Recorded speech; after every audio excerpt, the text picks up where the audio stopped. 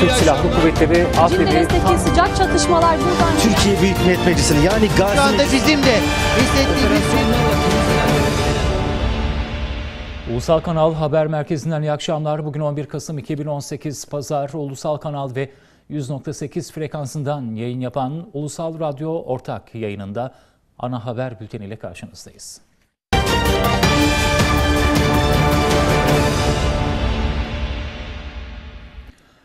Terör haberleriyle başlıyoruz. Yürek yakan bir haber var. Hakkari Şemdinli'ndeki Süngütepe üst bölgesinde mühimmat deposuna meydana gelen patlamada şehit olan 7 kahraman askerimizden 3'ü memleketlerinde düzenlenen törenlerin ardından son yolculuklarına uğurlandılar.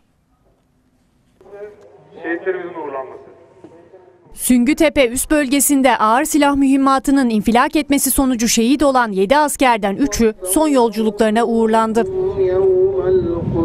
Şehitler için ilk tören Van Jandarma Asayiş Kolordu Komutanlığı Helikopter Filo Komutanlığı'nda düzenlendi. Veda töreninde Van Valisi, komutanlar, emniyet güçleri ve şehit yakınları hazır bulundu. Mevzi bölgesinde bulunan diğer mühimmatların Saygı duruşunun ardından şehitlerin Türk bayrağına sarılı naaşları tören alanına götürüldü.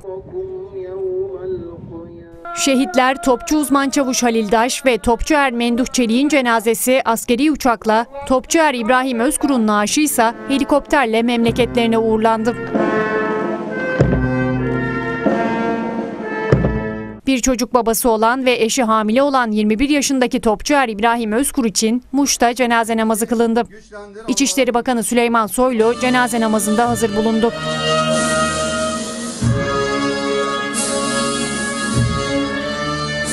Şehitlerden Topçu Er Menduh Çelik'in naaşı ise Şanlıurfa'da kılınan cenaze namazının ardından toprağa verildi. Şehit topçu uzman çavuş Halil Daş ise memleketi Konya'nın Ereğli ilçesinde ebediyete uğurlandı. Şehitlerden Ermelis Sancar ise yarın Ataköy 5. Kısım Camii'nde öğle vakti kılınacak cenaze namazının ardından İstanbul'da defnedilecek. Şırnak'ta ise arama tarama faaliyetleri sırasında bölücü terör örgütü PKK'nın yola döşediği el yapımı patlayıcı infilak etti. Gabar'da operasyonları sürdüren Mehmetçiklerimizden ikisi şehit oldu, beşi de yaralandı. Darbe üstüne darbe alan terör örgütü PKK Şırnak'ta el yapımı patlayıcılarla saldırı düzenledi. Türk Silahlı Kuvvetleri'nin Gabar'daki operasyonlarını hedef alan saldırı Görmeç kırsalında meydana geldi. Güvenlik kaynaklarının aktardığı bilgiye göre arama tarama faaliyetleri sırasında önceden tuzaklanmış el yapımı patlayıcılar infilak ettirildi. Patlamada iki asker şehit oldu, beş asker yaralandı. Yaralı askerler helikopterle Şırnak Devlet Hastanesi'ne götürülerek tedavi altına alındı. Saldırı sonrası Gabardağ bölgesine operasyon başlatıldı.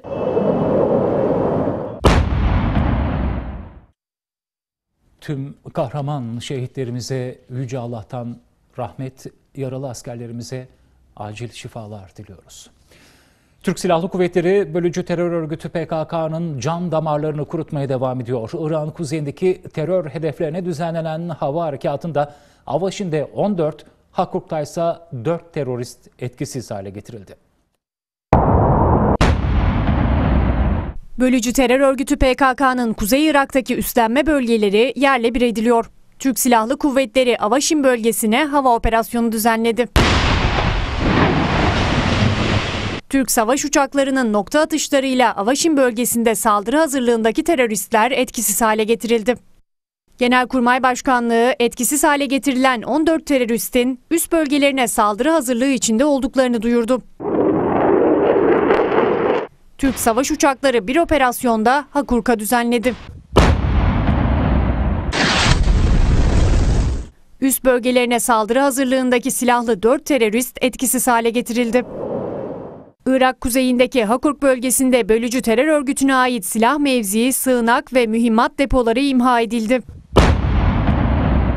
Son 24 saatte TSK'nın Irak kuzeyine düzenlediği operasyonlarda 19 terörist etkisiz hale getirilmiş oldu.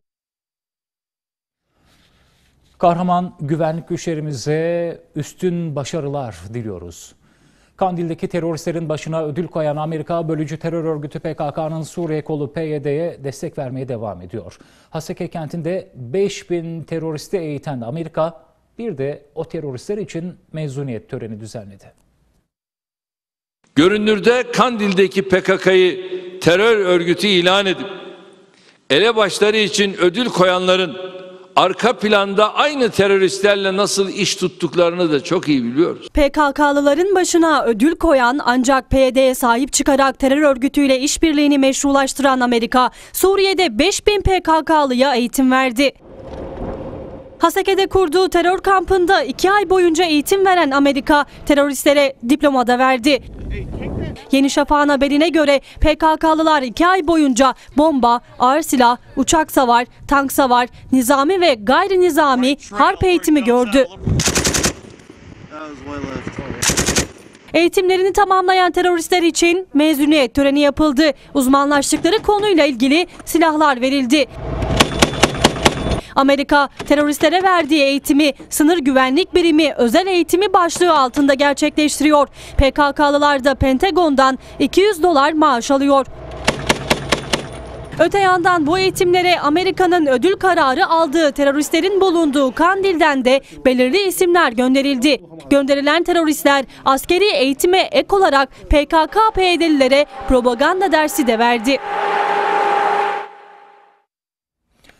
Amerika teröristleri eğitiyor ve bir de onlar için mezuniyet töreni düzenliyor. düzenliyor. Tabii ki gözler Cumhurbaşkanı Erdoğan'ın Amerikan Başkanı Trump'la dün akşam yaptığı görüşmeye çevrilmişti. Peki bu terör konusu gündeme geldi mi? Hayır.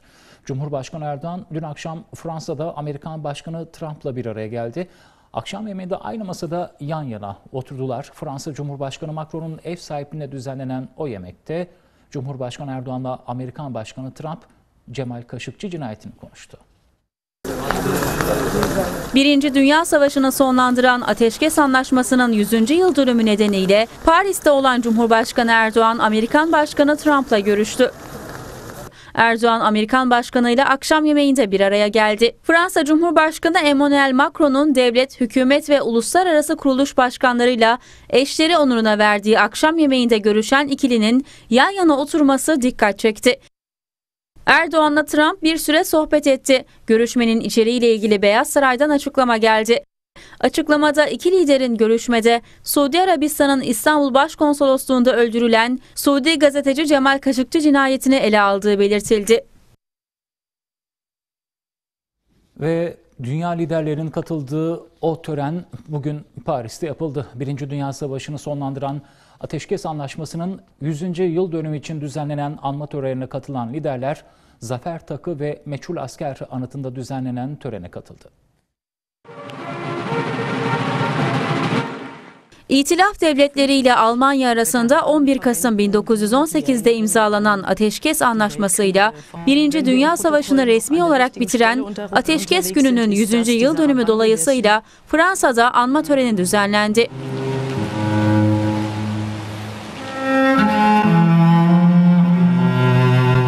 Törene 47 devlet başkanı, 23 hükümet başkanı, 15 uluslararası kuruluşun başkanı ve eşleri katıldı. Törene Cumhurbaşkanı Erdoğan da eşi Emine Erdoğan'a birlikte katıldı. Elsiz Sarayı'nda Macron tarafından karşılanan liderler kendilerine tahsis edilen otobüslerle törenin yapıldığı alana götürüldü. Şanzelize Caddesi'nde bulunan Zafer Takı ve Meçhul Asker Anıtı'nda düzenlenen anma törenine katılanlar arasında Cumhurbaşkanı Erdoğan'ın yanı sıra Rusya Devlet Başkanı Vladimir Putin, Almanya Başbakanı Angela Merkel ve Amerikan Başkanı Donald Trump da vardı.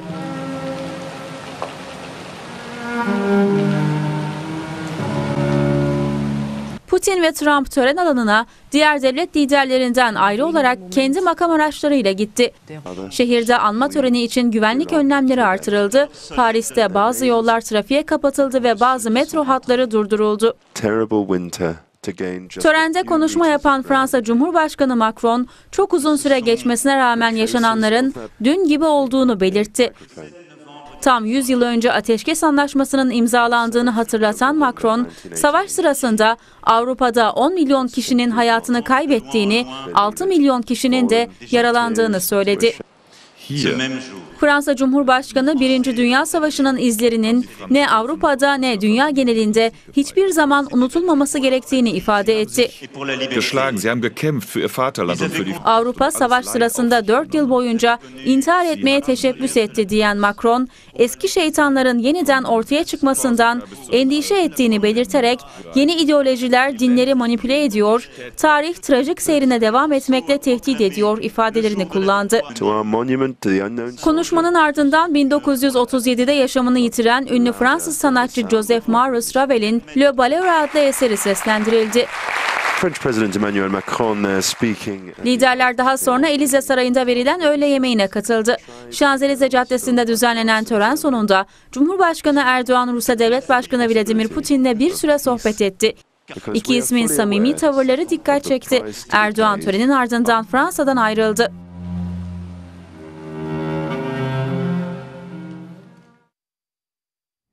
Cumhurbaşkanı Erdoğan, Fransız gazetesi Le Figaro için Birinci Dünya Savaşı'ndan günümüze yaşanan gelişmeleri aktaran bir makale kaleme aldı.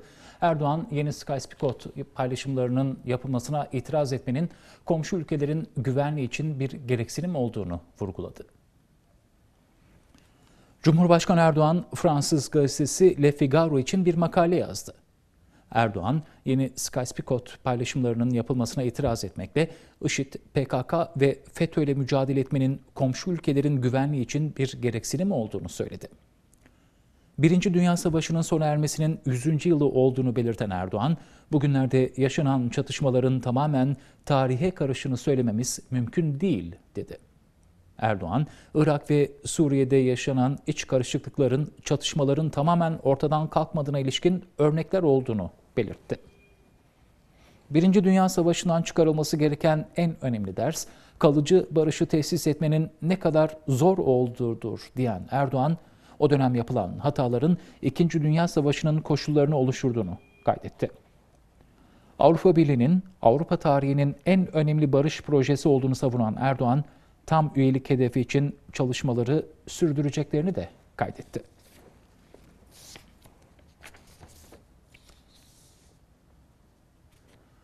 CHP ile HDP'nin Mart 2019'daki yerel seçimlerde ittifak yapacağı iddiaları günden güne güçleniyor. Geçtiğimiz günlerde CHP milletvekili Sezgin Tanrıkolu'nun HDP ile görüşmeler oluyor söyleminin ardından Ahmet Türk ve Kemal Kılıçdaroğlu'nun Ankara'da bir otelde gizli toplantı yaptığı iddia edildi. HDP bakımdan da yani kurumsal olmasa bile mutlaka ama mutlaka ama mutlaka görüşmeler oluyordur yani. HDP gerçeği var. Bazı ilçelerde HDP'nin aldığı oy CHP'den daha fazla. CHP milletvekili Sezgin Tanrıkulu, HDP ile ittifak iddiaları ile ilgili böyle konuşmuş, yerel seçimler için HDP ile görüşmelerin olduğunu belirtmişti. CHP-HDP ittifakı ile ilgili yeni bir gelişme daha ortaya çıktı. O gelişmeyi Milliyet yazarı Talat Atilla köşesine taşıdı. Atilla, 8 Kasım sabahı CHP Genel Başkanı Kemal Kılıçdaroğlu, Ahmet Türk ve bir medya patronunun Ankara'daki bir otelde gizlice görüştüğünü gündeme getirdi. Talat Atilla yazısında 2 saate yakın sürdüğünü belirttiği görüşmede yaşanan diyaloglara da yer verdi. Önce Kılıçdaroğlu konuştu. Sayın Türk, Türkiye ağır bir süreç geçiriyor. Bu resmi bir ittifak görüşmesi değil ama bazı kritik yerlerde demokrasi ve adalet arayışında mutabakat içinde olabiliriz. Özellikle İstanbul ve Ankara seçimlerinin sonucu Türkiye'yi yeniden şekillendirebilir. Ardından Ahmet Türk, haklısınız neler yapılabilir konuşalım ifadelerini kullandı. Yerel seçimlerde ittifak için yapılan bu gizli görüşmede Kılıçdaroğlu atılması gereken somut adımları da sordu. Kılıçdaroğlu somut önerilerini sorunca Türk final konuşmasını yapar. Tabanımızın oy vereceği isimler koyabilirseniz demokratik mutabakat olabilir. Mesela Ankara'da Mansur Bey'e tabanımız sıcak bakmaz. İstanbul'da bazı kritik ilçelerde de CHP listelerinden Kürt seçmene yakın isimlerle sonuç alınabilir. 10 Kasım'da Türk milleti Cumhuriyet'in kurucusu Mustafa Kemal Atatürk'ü unutmadı. 7'den 70'e herkes Atatürk için meydanlardaydı. Anma etkinlikleri Eskişehir ve İzmir'de gece geç saatlere kadar sürdü. 10 Kasım'da anma etkinlikleri tüm yurtta gün boyunca devam etti. Cumhuriyetin kurucusu Mustafa Kemal Atatürk'e olan sevgi ve bağlılık görülmeye değerdi.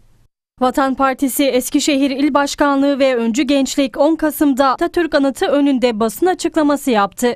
Değerli Eskişehirliler, bugün atamızın huzurunda saygı nöbetindeyiz. Saygı, minnet ve şükranla bir kez daha anımsıyoruz.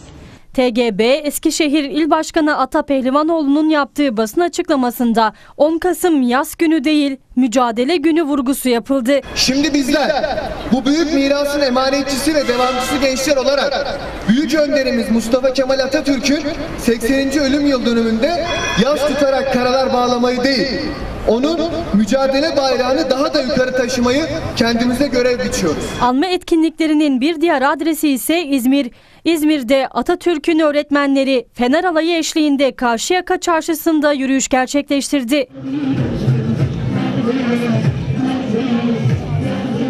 Yürüyüş bitiminde Eğitim İş 3 Nolu Şube Başkanı Hüseyin Çalışkan ulusal kanala konuştu. Biz Atatürk'ün öğretmenleriyiz. Biz okullarda bilimi, aydınlığı, çağdaşlığı, akıllı, kısaca Atatürk'ü öğrettik. Öğretmeye devam edeceğiz. Yaşa Mustafa Kemal Paşa yaşa. Hemen vurgulayalım. 10 Kasım bir yaz günü olmaktan çoktan çıktı. Zira 10 Kasım yeni Atatürklerin doğum günüdür. Edirne'de 10 Kasım törenleri sırasında Atatürk'e hakaret eden üniversite öğrencisi bir kadın gözaltına alındı. Emniyetteki işlemlerinin ardından adliyeye sevk edilen zanlı Atatürk'ün hatırasına alenen hakaret etmek suçundan tutuklanarak cezaevine konuldu.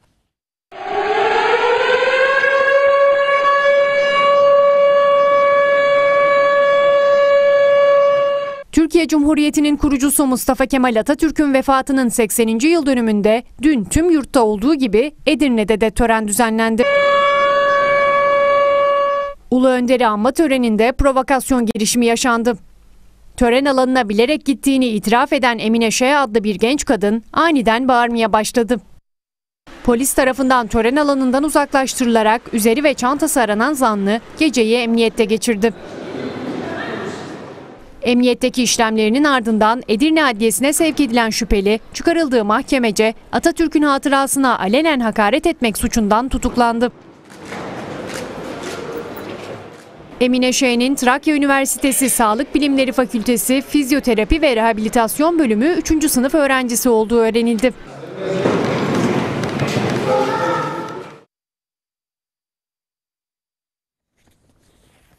Tehlikeli sınıf kolunda yıllardır fedakarlıkla çalıştıkları fabrikada grev kararı aldılar. Tek düşündükleri ekonomik krizin yakıp kavurduğu şu günlerde geçimlerini sağlayabilmek. Onlar Edirne'de faaliyet gösteren Emkol Mineral Madencilik firmasında çalışan işçiler, emekçiler. İşverenle toplu iş görüşmelerinden sonuç alamayan emekçilerin taleplerini getiriyoruz ekranınıza. Direne, direne, kazanacağız. Yıllarca çalıştılar, üretim kapasitesini arttırdılar. Artmayan tek şey ücretleri oldu.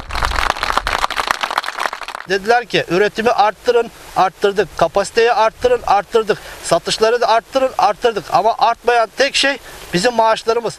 Edirne, Enez'de Sultaniçeköy yakınlarında faaliyet yürüten Amerikan şirketi Emkal Mineral Madencilik'le Türk İş'e bağlı Türkiye Maden İşçileri Sendikası arasındaki toplu iş sözleşmesi görüşmelerinden sonuç çıkmadı. Anlaşma sağlanamadığı için grev kararı alındı. E, kimyasalların da olduğu, e, çok ağır işlerin içeride döndüğü, tozun da yani çok büyük insan sağlığına etkisi olan bir işletme.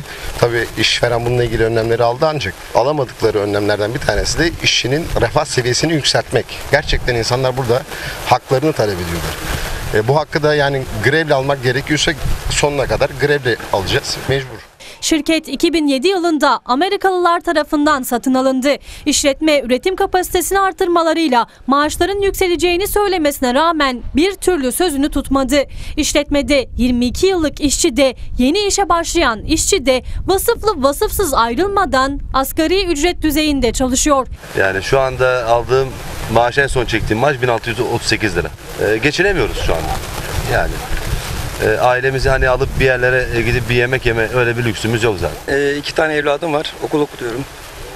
Yani benim gibi nice arkadaşlarım var. Aynı zorlukları onlar da çekiyor.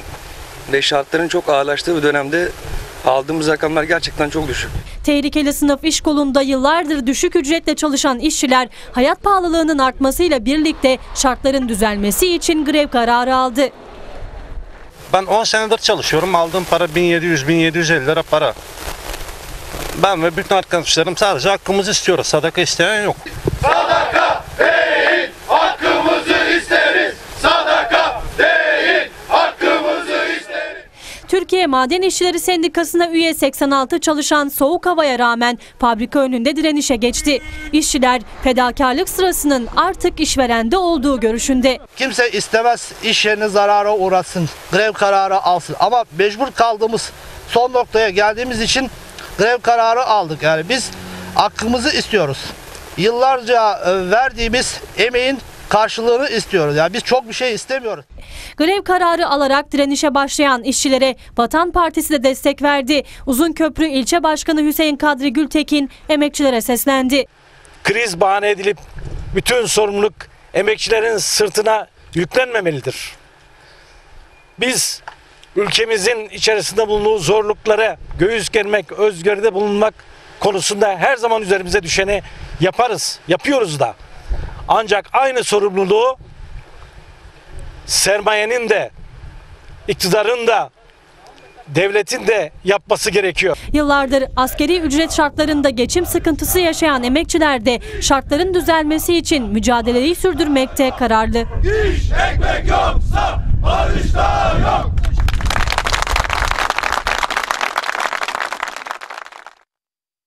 Hatırlayacaksınız geçtiğimiz günlerde bölücü terör örgütü PKK adına bombalı eylem yapmak üzere yurdun farklı noktalarına gitmek isteyen bazı teröristler ve yüklü miktarda patlayıcı madde ele geçirilmişti.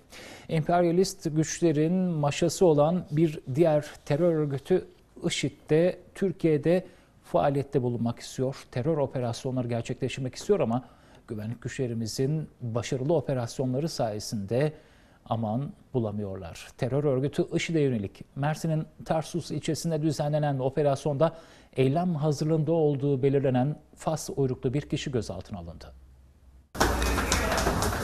Dün dört bir yanında terör örgütlerine karşı operasyonlar sürüyor. Emniyet güçleri Mersin'de IŞİD'e yönelik operasyon düzenledi. Terörle Mücadele Şube Müdürlüğü ekipleri Fas uyruklu bir örgüt mensubunun Tarsus ilçesinde olduğunu tespit etti. Şüphelinin Tarsus'taki evine operasyon düzenlendi. Operasyon sonrası IŞİD'linin eylem hazırlığında olduğu belirlendi. Şüpheliyle yanındaki bir kişi gözaltına alındı. Emniyetteki işlemlerin ardından adliyeye sevk edilen zanlı tutuklandı. Yanında yakalanan kişi ise adli kontrol şartıyla serbest bırakıldı.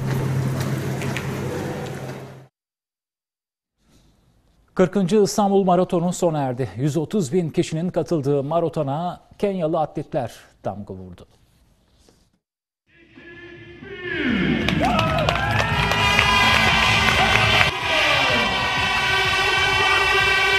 Avrupa ve Asya'yı birbirine bağlayan parkurda koşulan Vodafone İstanbul Maratonu tamamlandı. Sağlıklı Yarınlara Koş İstanbul temasıyla düzenlenen maraton Asya yakasından başladı. Startın verilmesiyle sporcular ve vatandaşlar 15 Temmuz Şehitler Köprüsü'ne doğru hareket etti.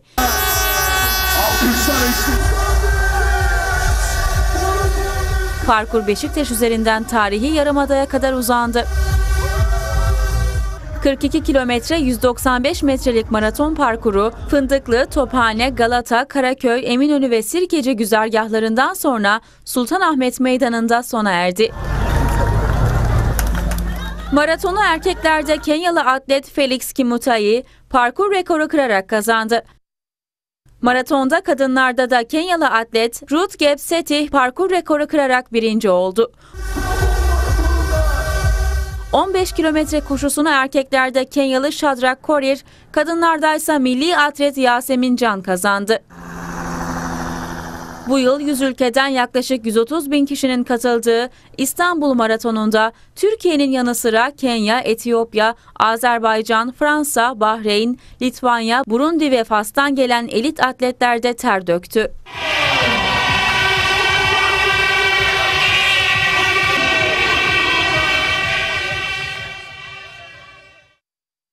Milliyetçi Hareket Partisi Genel Başkanı Devlet Bahçeli, meclise sundukları af teklifinin Adalet Komisyonu'nda görüşülmesini beklediklerini söyledi.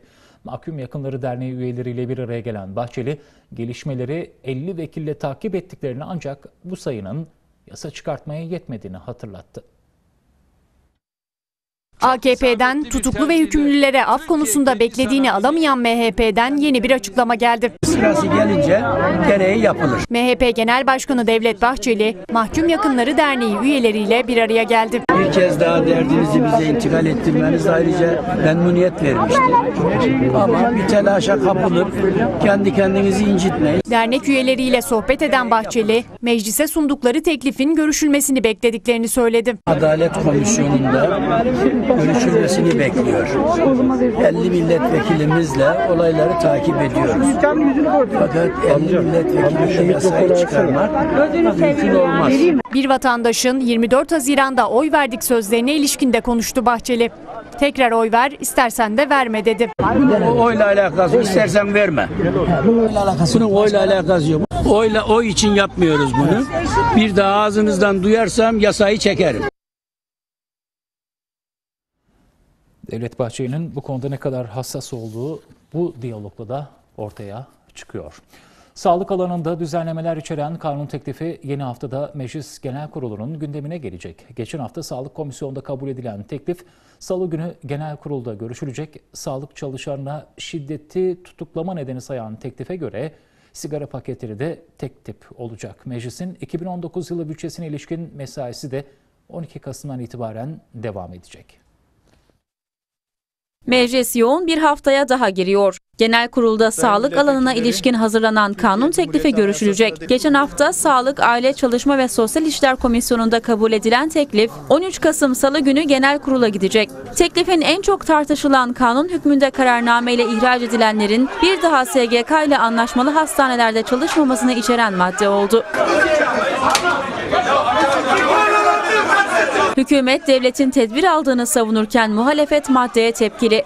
hukuksuz bir şekilde, iş tüzüğe aykırı şekilde, anayasaya aykırı şekilde bu beşinci maddeyi geçirdiler. Teklife göre sağlık çalışanına şiddet tutuklanma nedeni sayılacak. Sadece tek bir maddede sağlık çalışanlarına yönelik şiddetin ya önlenmesi noktasında bir e, madde var. Bunun sağlık çalışanlarına yönelik şiddeti önleme şansı yok.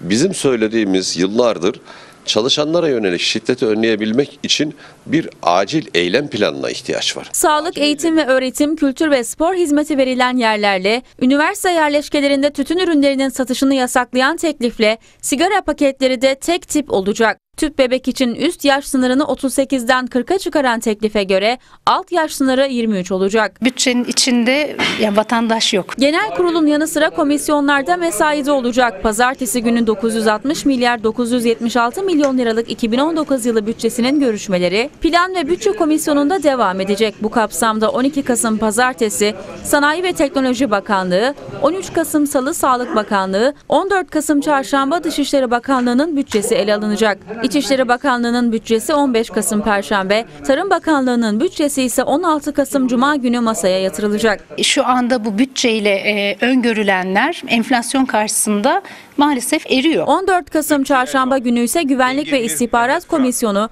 basına kapalı toplanacak. Aynı gün Meclis İnsan Haklarını İnceleme Komisyonu'nda Tevfik Evleri Genel Müdürlüğü Türkiye'de cezaevlerinin durumuna ilişkin sunum yapacak. Cumhuriyet Kadınları Derneği Genel Başkanı Doktor Canan Arıtman 31 Mart yerel seçimleri için bir kampanya başlattıklarını açıkladı. Kadınların siyasette ve karar mekanizmalarında etkin olması gerektiğini vurgulayan Arıtman, kadınları aday adayı olmaya teşvik ettiklerini söyledi. Aynı Cumhuriyet kadınları görev başına diyorum. Cumhuriyet Kadınları Derneği Karşıyaka Şubesi'nin üyeleri ve dostlarının katılımıyla kahvaltılı toplantı düzenledi. Toplantıda konuşan Canan Arıtman 31 Mart'ta yapılacak yerel seçimlere dikkat çekti. Atatürk'ün hayal ettiği hedeflere, e, koyduğu hedeflere ulaşabilmek için şimdi önümüzde çok güzel bir fırsat hem de çok acil bir görev var. Bu da e, 30, 31 Mart yerel seçimleridir. Arıtman Cumhuriyet Kadınları Derneği olarak 31 Mart yerel seçimlerinde kadınların siyasette ve karar mekanizmalarında aktif olması için kampanya başlattıklarını dile getirdi. Biz Cumhuriyet Kadınları Derneği olarak 31 Mart yerel seçimleri için büyük bir kampanya başlatıyoruz. Diyoruz ki kadınlar parlamentolara, aynı kadınlar atanın verdiği görevleri yapmaya.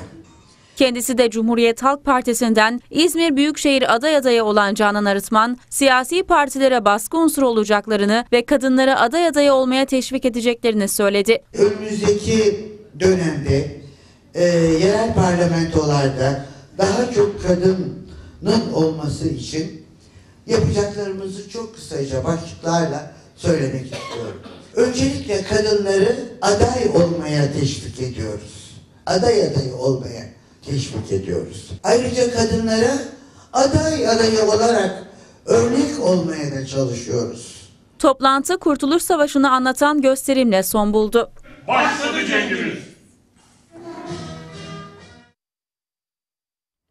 Doğada ender rastlanan bir kuş türü olan beyaz serçe Ankara'da görüntülendi. Kısmi albin olarak tanımlanan kuş Altın Park'ta kameralara takıldı. Nadir rastlanan beyaz ağaç serçesi başkentte görüldü. Doğada az görüntülenen bu kuş türü gözleri ve kanadının bir bölümündeki renklenmeden dolayı kısmi albino olarak da biliniyor.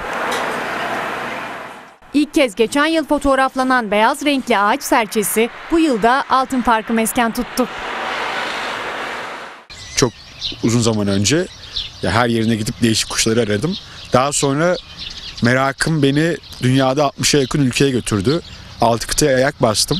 Ansiklopedileri okuyordum sürekli ya da ona işte benzeyen kaynak kitapları okuyordum. Ee, sonuçta hayvanların kendilerinin buraya Altın Park'a gelebileceğine ihtimal vermiyordum. O gördüğüm değişik değişik kuşların burada olabileceğine. Beyaz serçe yanından ayrılmayan normal görünümlü eşi ve diğer serçelerle görüntülendi. Onun hiç yanından ayrılmayan eşi var bir tane normal görünümlü. Bir şekilde onlar e, bir aradalar ve geçen seneden beri beraberler. Aradan bu kadar zaman geçtikten sonra dün tekrar görünce büyük mutluluk duydum. Farklı tüy rengi ve görünümüyle diğer serçelerden ayrılan beyaz renkli ağaç serçesi hayvanseverlerin ve fotoğrafçıların ilgisini çekiyor.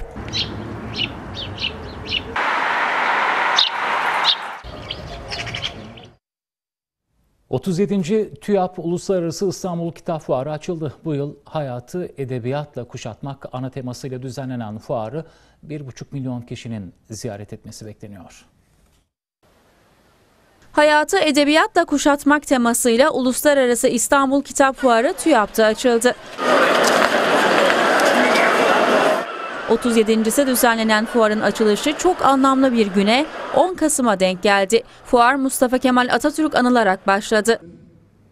Türkiye Cumhuriyeti'ni anlatırken kullanmış olduğu bir söz var. Türkiye Cumhuriyeti'nin temeli kültürdür diye başlıyor. Ve Afet İnan bunu çok sık olarak vurgular. Türkiye Cumhuriyeti'nin temeli kültürdür. Onur yazarı bu yıl Selim İleri olan fuarı 1,5 milyon kişinin ziyaret etmesi bekleniyor. Yayın evlerinin standlarında çeşit çok olsa da en yoğun ilgi Ulu Önder Atatürk'ün Türk milletine adadığı nutuktaydı. Nutuk kitabını %50 indirim yaptık. Yani bu kadar ilginin olması bizi sevindiriyor. İlgi çeken standlardan biri de kaynak yayınlarınınki oldu. Özellikle yayınlanan kitapların arasında giderek Atatürk'e ilişkin olanların sayısının müthiş bir hızla artıyor oluşunu görmekten, ilginin de giderek artıyor oluşu benim için diğer bir sevindirici nokta. kitap severlere bu kitaplar umarım yeni ufuklar açar. Kitaplarını imzalayan Vatan Partisi Genel Başkanı Doğu Perinçek, vatandaşlarla sohbet etti, fotoğraf çektirdi. kitap fuarı tabii e, Atatürk e, bizim için aynı zamanda bir kitap yani bir devrimin tecrübesi E, ve burada kaynak yayınları sergisindeyiz. Kaynak yayınlarının da Atatürk'ün bütün eserlerini 30 cilt Türk milletine armağan etmesi çok büyük bir iş. Onun için kaynak yayınlarını yürekten kutluyoruz. Türklerin bilinmeyen tarihine ışık tutan Avrupa tezlerine meydan okuyan Profesör Doktor Semih Güneri de kaynak yayınlarından çıkan Türk Altay Kurumu kitabının meraklılarıyla bir araya geldi. Türk Altay Kuramı aslında e, erken Türk tarihi konusunda yapılmış e, az sayıda çalışmalardan biri ama çok uzun bir zamana yayıldığı için de e, yani e, ciddi bir çalışma süreci e, geçiren bir kitap. Aileler çocuklarıyla birlikte kitap fuarına akın etti. Fuar girişinde uzun kuyruklar oluştu. Yurt içi ve yurt dışından 800 yayın evinin katıldığı TÜYAP'taki 37. Uluslararası İstanbul Kitap Fuarı Avrupa'nın en büyük kitap fuarlarından biri. 9 gün boyunca açık olacak fuarda panel, söyleşi, şiir dinletisi ve çocuk atölyelerinden oluşan etkinlikler düzenlenecek. Yazarlar imza gününde okurlarıyla bir araya gelecek. Amerika'nın Kaliforniya eyaletinde çıkan orman yangınlarında hayatını kaybedenlerin sayısı 25'e yükseldi. Alevler nedeniyle 7 bin civarında ev hasar gördü. Bölgeden 300 bin kişiyi tahliye etme işlemleri başladı. Amerika'nın Sierra Nevada dağları eteklerinde perşembe günü başlayan yangın rüzgarın etkisiyle yayılmaya devam ediyor. Kaliforniya'nın kuzeyindeki San Francisco'nun Paradise kasabası ve civarı alevlere teslim oldu. 404 kilometrelik alana ulaşan yangında 14 kişinin daha cansız bedenine ulaşıldı. Böylece can kaybı sayısı 25'e yükseldi. Yangın eyalet tarihinin en yıkıcı yangını ve en çok can kaybının yaşandığı üçüncü büyük yangın. Alevler nedeniyle başta Paradise kasabası olmak üzere bölgedeki yaklaşık 7 bin ev hasar gördü. Kaliforniya eyaleti genelinde 300 bin kişiyi tahliye işlemlerine başlandı. İran Meclis Başkanı Ali Larijani nükleer anlaşmadan çekilen Amerikan Başkanı Trump'ı eleştirdi. Larijani, Trump'ın dünyayı tedirgin ettiğini, herkes için öngörülemeyen şartlar doğurduğunu dile getirdi. İran Meclis Başkanı Ali Larijani yaptırım kararı alan Amerikan Başkanı Donald Trump'ı eleştirdi. Eski Brezilya Devlet Başkanı Fernando Collor de Mello ile mecliste bir araya gelen Larijani, Amerikan yaptırımları ile ilgili konuştu. Nükleer müzakerelerin eski Amerikan Başkanı Obama döneminde Amerika'nın talebiyle yapıldığını hatırlatan Larijani, Trump ani bir kararla anlaşmayı bozdu ve bu hareketiyle İran'ı karıştıracağını düşündü dedi. Trump'ın ekonomik sözleşmelerden çekilerek Avrupalıları, füze anlaşmasından çekilerek Rusları, Paris İklim Anlaşması'ndan çekilerek de dünyayı tedirgin ettiğini vurgulayan İran Meclis Başkanı, Trump herkes için öngörülemeyen şartlar doğurduğu ifadelerini kullandı. Larijani, Amerika'nın terör örgütü IŞİD'i icat ettiğini ve bu nedenle terörle mücadelesinin inandırıcı olmadığını da kaydetti. Öte yandan Birleşmiş Milletler Dünya Turizm Örgütü Genel Sekreteri Zurab Polilakashvili, İran'ın başkenti Tahran'daki tarihi Gülistan Sarayı'nda basın toplantısı düzenledi. İran'ın tarihi ve doğasıyla turizm için cazip bir ülke olduğunu dile getiren Genel Sekreter, İran'ın ekoturizmini koruyacaklarını belirtti. Afganistan'da 17 yıldır süren çatışmaların son bulması için Afganistan hükümetine bağlı temsilcilerle Taliban temsilcileri ilk kez bir araya geldi. Görüşmelere Moskova ev sahipliği yaptı. Afgan hükümetiyle Taliban arasında ilk üst düzey görüşme Rusya'nın ev sahipliğinde gerçekleşti. Afganistan'da 17 yıldır devam eden savaşın bitmesi için Taliban temsilcileriyle Afganistan hükümetine bağlı temsilciler ilk kez bir araya geldi.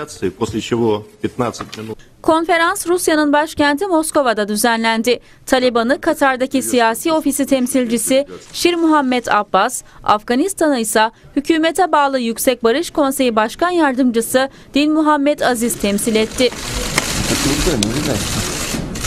Yapılan görüşmelerin ardından Rusya Dışişleri Bakanlığı açıklama yaptı. Afganistan'daki durumun istikrara kavuşturulması için yapılan görüşmede katılımcıların görüşmelere devam etme konusunda anlaştığı belirtildi.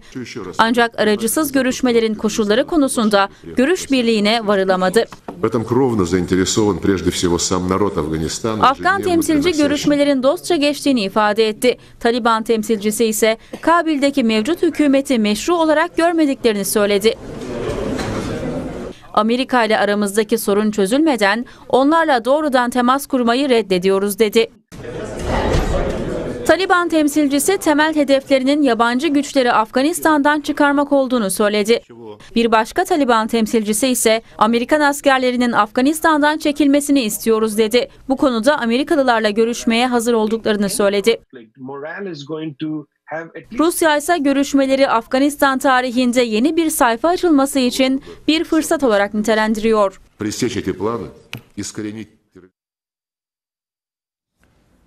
Muğla'nın Bodrum ilçesinde 4 yıldır düzenlenen deniz dibi temizliği çalışmasında 22 tona yakın atık toplandı.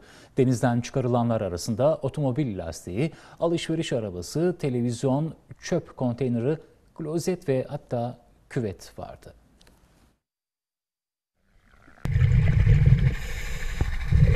Özellikle cep telefonları, e, televizyon, mangal, e, çöp konteyneri, e, alışveriş merkezinin arabaları. Denizden çıkanlar sayılanlarla sınırlı kalmadı. Muğla'nın Bodrum ilçesinde yaklaşık 4 yıldır düzenlenen deniz dibi temizliği çalışmasında 22 tona yakın atık toplandı. Denize en çok mavi yakışır dediler. 15 Mart 2015'te Gümüşlük Koyu'nda temizlik çalışmalarına başladılar. O günden bu yana Bodrum Yarımadası'nın çeşitli koylarında faaliyetlerine devam ediyorlar. Etkinlikte 3 yıldızlı 8, 2 yıldızlı 3, tek yıldızlı 2 ve bir serbest olmak üzere 14 gönüllü dalgıç görev yapıyor.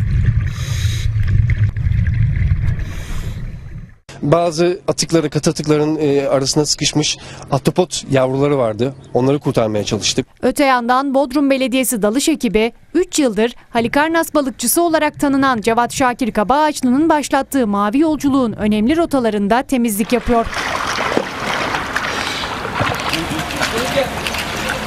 E, Biliyorsunuz burada önemli olan e, halkın bilinçlendirilmesi, çocuklarımızın daha iyi bir şekilde e, temizlik eğitiminin verilmesi.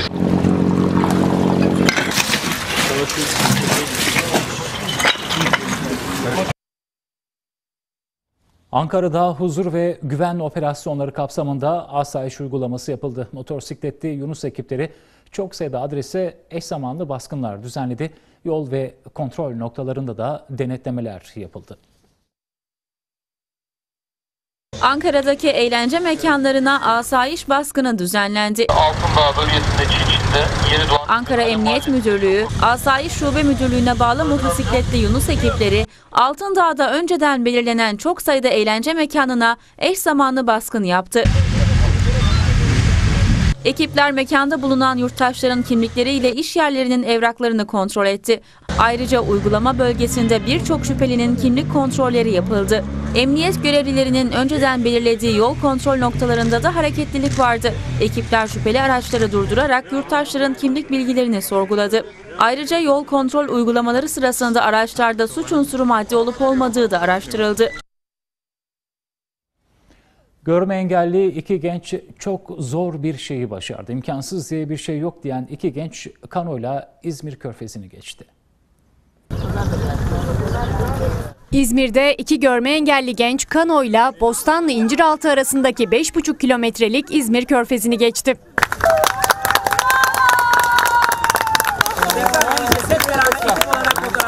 Engelsiz Gençlik ve Doğa Sporları Derneği ve Kanoizm Kano Grubu engellilerin de ilgi ve yetenekleri doğrultusunda istedikleri sporu yapabileceklerini göstermek için Alkışını Kapgel Kano etkinliği düzenledi. Antrenörleriyle iki kanoya binen görme engelli Süleyman Görece ve Furkan Kaplan 5,5 kilometre kürek çökerek Bostanlı'dan İnciraltı Engelliler Parkı'na ulaştı.